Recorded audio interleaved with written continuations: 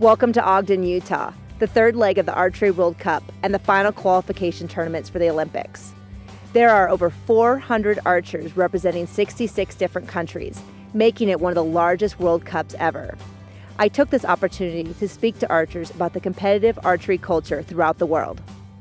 So, how do you guys support yourself as archers? We all work, work We all full work full time. Do you work in archery? Unfortunately, no. Yeah, we all just work in our full time jobs outside of archery, and then when we get a spare moment, we're out in the archery range shooting. So it's pretty much work all throughout the week and then shoot all weekend. So it doesn't leave a lot of spare time because we're pretty archery tragic, and so any spare time goes to the sport. Um, and because of our distance, again, it's quite expensive in Australia to be able to come to these World Cups, but the experience is worth it because it's the only way you can um, develop the international competitive um, calibre of the archers.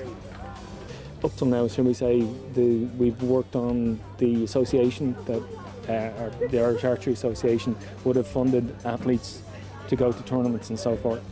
Um, unfortunately, the way it's going at the moment, um, economically we can't afford it. The, the association can't afford it, so um, athletes are funding themselves.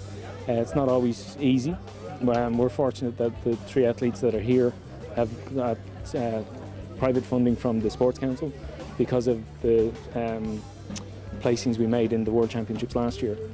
So, uh, other than that, athletes will have to fund it for themselves. Now, the association will help out as best they can, so they will give you something towards it.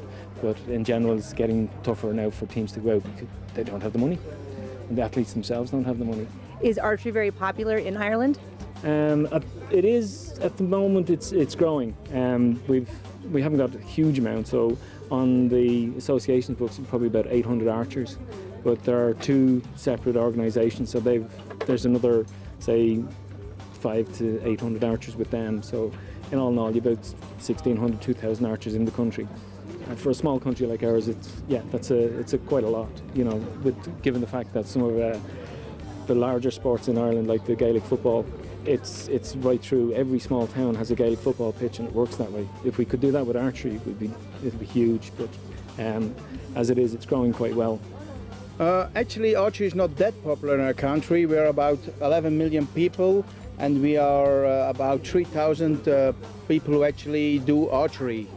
So actually, it's not that popular. It's not like soccer and racing, because that's the two sports in Belgium are very popular.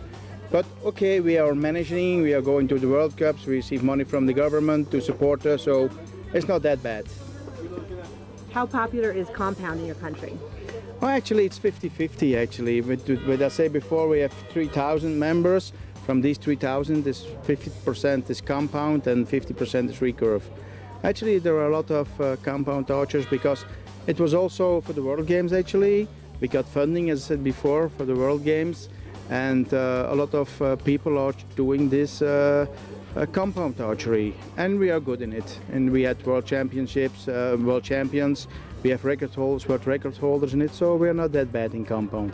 Recurve, something else. We have to to grow again because we had very popular. We had uh, somebody was third place in uh, Atlanta, and uh, we are losing a little bit this uh, recurve game, but actually we have a new program 2016 2020 and we hope surely to be there in 2016 Uh, tell me about your new program. new program that's top secret The qualification rounds, which determine the individual and team rankings for the rest of the tournament, are taking place tomorrow. With so many excellent archers from all over the world on the same field, we are bound to see some interesting results. For Knockout TV, I'm Nikki Haverstock.